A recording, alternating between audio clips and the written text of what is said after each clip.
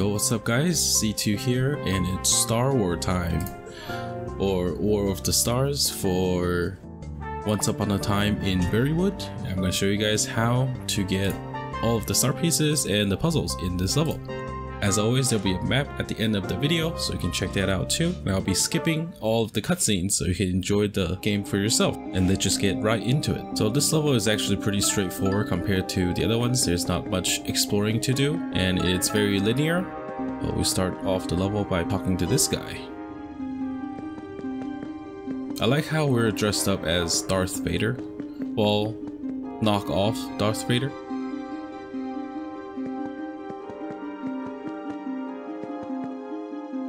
Some monsters to kill here. The lightsaber is so cool. Hopefully we get a character that uses it as a exclusive weapon. Go ahead to the top. Grab these real quick.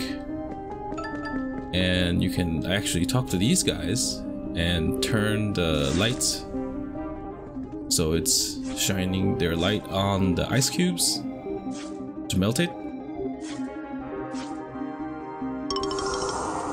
Alright, I'll grab star piece.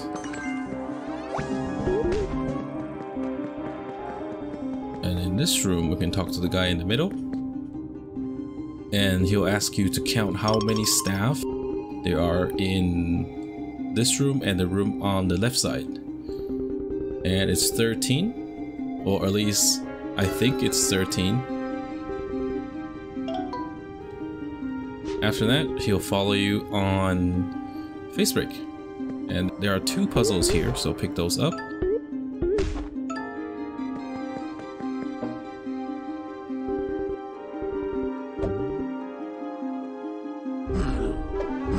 Alright, and two more puzzles behind the little door. And we'll head to the right.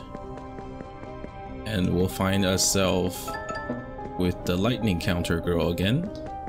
And this time, instead of a race, there'll be like this mini game that kind of tests your ability to kind of read where the where the fighter jet is heading. The pattern for the fighter jet is the same every time. So just follow it and shoot it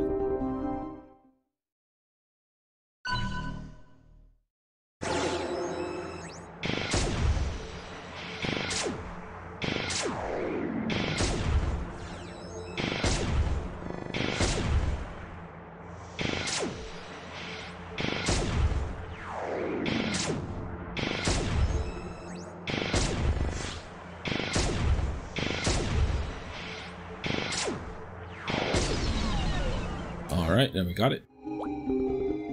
After probably failed 10 times on my alt account when I first tried it, but once you get the pattern down, it's actually pretty easy. Even though I think I only had like one second left on that try. Doesn't matter, we get our star piece.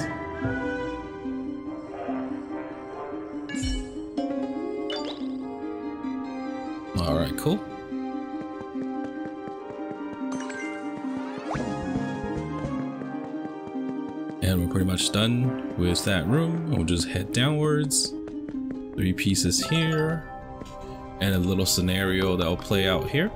I love how all these cutscenes are parodies of like actual scenes from the movie. Also, I want to mention that the cameraman on the right side that follows you around is pretty, pretty awesome. Anyways, we'll keep going down. More scenarios will play.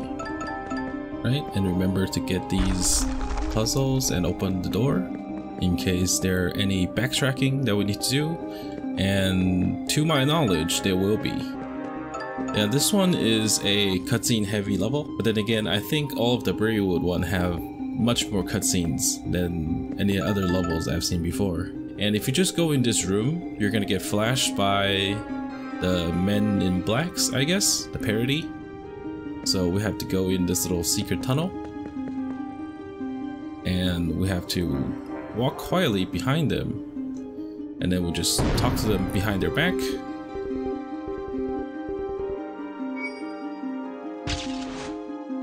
And you'll be able to grab the star piece all right. Let's keep going to the right. The more pieces here. This one's here too. And our lovely little princess is over here spying on the invaders. Just talk to her real quick and she'll give you a water bottle along with a star piece.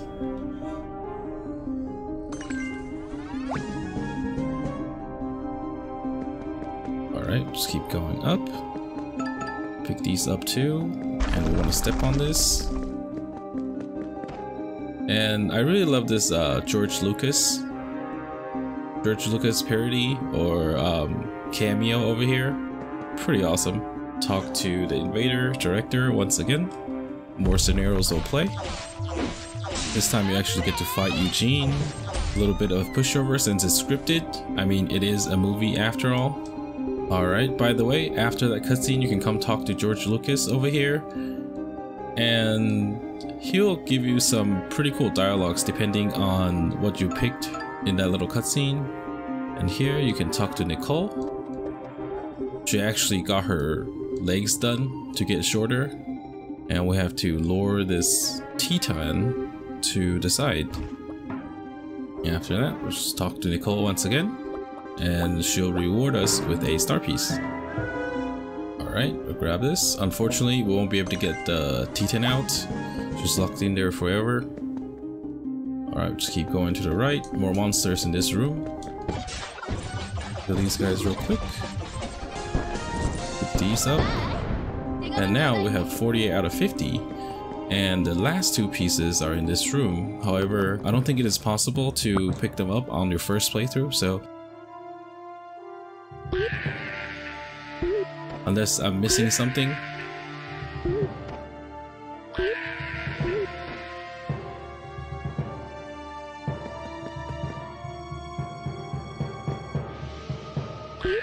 We'll just take the director and throw him into the abyss.